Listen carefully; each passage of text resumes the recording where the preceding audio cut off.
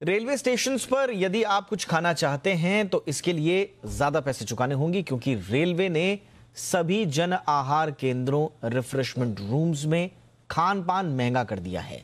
खाने के सामान पर पाँच रुपए से लेकर पंद्रह रुपए तक की बढ़ोतरी की गई है। हालाँकि चाय पहले की तरह दस रुपए ही मिलती रहेगी। नई दरें तत्काल प्रभाव से लागू हो गई हैं। इससे पहले ट्रेनों में खान पान की दरें बढ़ाई गई थी, जिन्हें मार्च से लागू किया जाना है।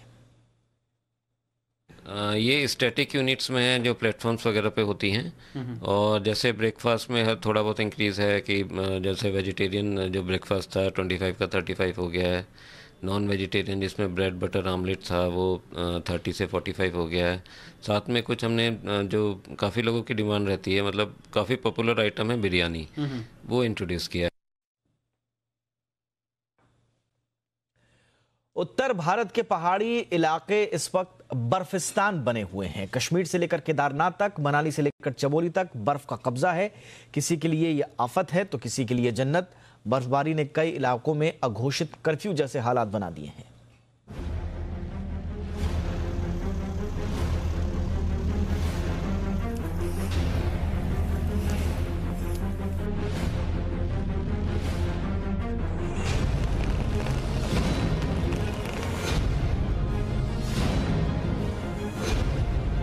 जहाँ तक नज़र दौड़ाइए, बर्फ़ ही बर्फ़ दिखाई दे रही है।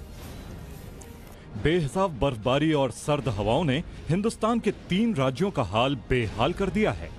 कुदरत के सफ़ेद कोहराम से लोगों का जीना मुहाल हो गया है।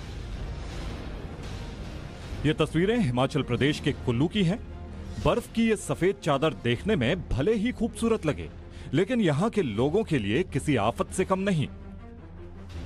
मालना गाँव पूरी तरह बर्फ़ से ढक चुका है। भारी बर्फबारी की वजह से लोग अपने घरों में कैद रहने को मजबूर हैं। तापमान माइनस में है। लोगों की ज़िंदगी मानो थम गई है। हिमाचल प्रदेश में पिछले तीन दिनों से लगातार बर्फबारी हो रही है। हिमाचल की सोलांग वैली पर्यटकों से पूरी तरह गुलजार है।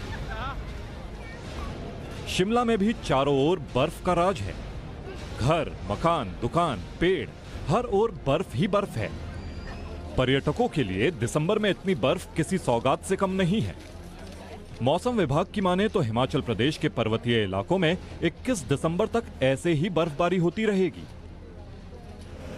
भारी बर्फबारी की वजह से हिमाचल के कई इलाकों में पानी की समस्या खड़ी हो गई है। कई जगह रास्ते बंद हैं। मुख्यमंत्री जयराम ठाकुर चाक चौबंद व्यवस्था का वादा कर रहे हैं। बर्फबारी के कारण कुछ जगह थोड़ी कठिनाई आती है, रास्ते बंद हुए हैं, सड़कें बंद हुई हैं, कुछ जगह पेयजल योजनाएँ प्रभावित हुई हैं, कुछ जगह बिजली प्रभावित हुई है।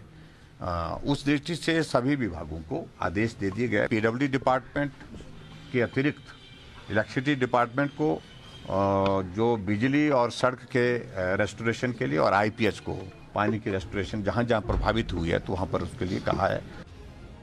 भारी बर्फबारी के चलते लाहौल स्पीति में नेशनल हाईवे भी बंद पड़ा है। लाहौल स्पीति में एक सौ चौंतीस सड़कें ऐसी हैं जो बर्फबारी के कारण बंद हो गई हैं। लाहौल स्पीति और रोहतांग दर्रा में बर्फबारी के चलते दूसरे इलाकों से संपर्क पूरी तरह कट गया है।